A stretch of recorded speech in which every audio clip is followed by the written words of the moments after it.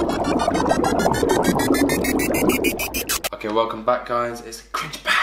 And we're back with Venn diagram questions and hopefully this section is very very simple, very very quick and I hope to just save you a lot of time. So if you follow me with, onto the iPad you can see that there is a three-way Venn diagram table. Um, let me just quickly write it down, three-way table. I'll link a video in the description box to explain how to form these tables. They're not going to ask you to do so but it's good to know especially when it comes to understanding this table. So let's just move a little bit down. Which of the following statements must be true? 75 employees in total. So now if you add up all the numbers, 17 plus 6, that's 23, plus 21 is 44, plus 4, 48, plus 8, plus 7, um, that's 7, 15, 63, plus 12, 75, plus 3, 78.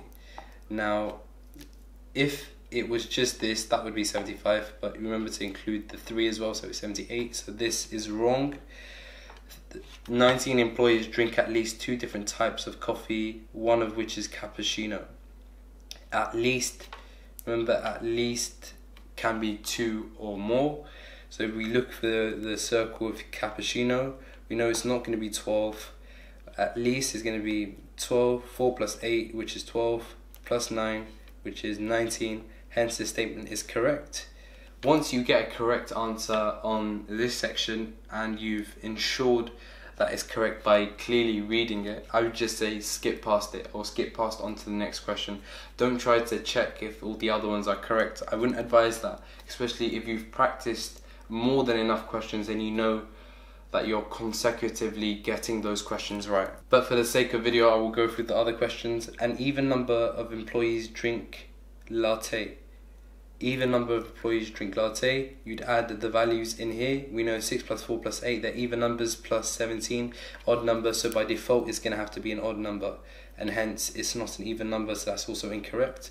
So yeah, I didn't have to add up everything you sort of find tricks and tips that you get from Medify to really help. Now if we go on to number four, we can see it says that at least one in every 10 employees drink all three types of coffee. Now this value or these values in the table are not for all employees so by default we're going to know that's wrong and hence we know that the only feasible one is the second one and I hope that really explains it to you. So let's move on to the second. The plan is to go through these questions in roughly 30 to 40 seconds um, at a greater speed than how I'm going through it right now. Okay, so now it says, you can see the diagram there, and it says Spain, Germany, Italy, Luxembourg, Switzerland. And any intersections or any regions in which a number lies between two shapes is the intersecting region.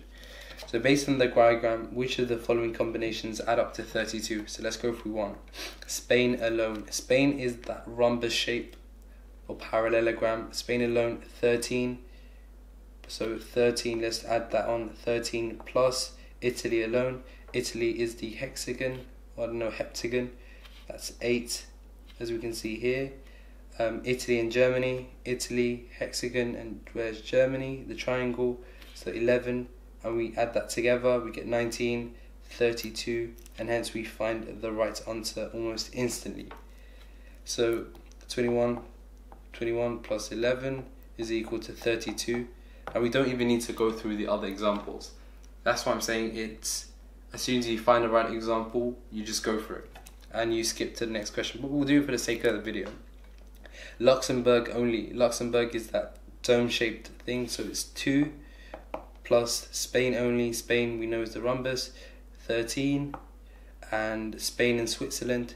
Spain and Switzerland, 6. We know almost instantly that's not 32, that's 21. So there you go. We know it's not going to be this. Germany only and Germany and Luxembourg. Germany is a triangle, that's 16. 16 and Germany and Luxembourg. Germany sharing it with Luxembourg, 4, that's equal to 20. Now we can see that the only ones that have anything close to 32 is the first one, hence we stick with the right answer.